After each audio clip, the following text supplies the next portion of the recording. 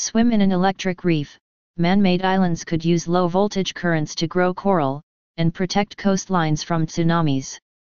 Coral reefs are known as the rain forests of the sea and although they only occupy a total area half the size of France, they provide a home for a quarter of all marine species on the planet.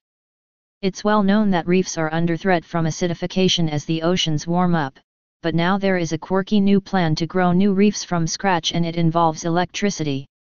One architect has shared designs for a futuristic man-made reef with an electric field designed to attract calcium carbonate from the water in a bid to form new reefs quickly.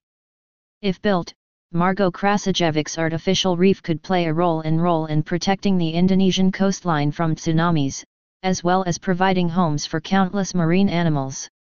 In her vision, the reef would be formed from a framework of movable steel girders and steel ball structures, designed in a way to support the growth of natural coral. Large metal balls would be connected by cables to floating solar panels on the water's surface so an electrical current can be generated. The current would draw particles of calcium to small pieces of natural coral attached to steel frames below the water, in a bid to stimulate further growth. It would be low enough for divers to swim around the structure, which looks as if it comes from a sci-fi film but strong enough to create an electric field around the frame. The field would condense dissolved calcium carbonate in the seawater so that it could attach itself to the steel frame in order to build the limestone skeleton. And the coral fragments tied to the calcium carbonate covered frame would help limestone skeleton growth, which is the foundation for natural corals. The reason natural and artificial coral is so important is that it buffers the impact of hurricanes and tsunamis in coastal regions. It does this by slowing down and reducing the force of waves as they approach the shore so that reefs can diminish the distance and amplitude of the waves traveling inland. The healthier and more structurally complex a reef is, the more friction it provides and the better it protects the coastline and damage on shore. The project is also designed to support the growth and protection of coral reefs for their beauty and biodiversity.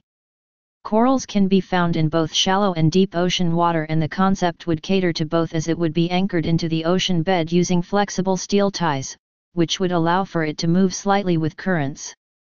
They provide shelter for marine life, are valuable sources of organisms for potential medicines, create sand for beaches and serve as a shock absorber for shorelines.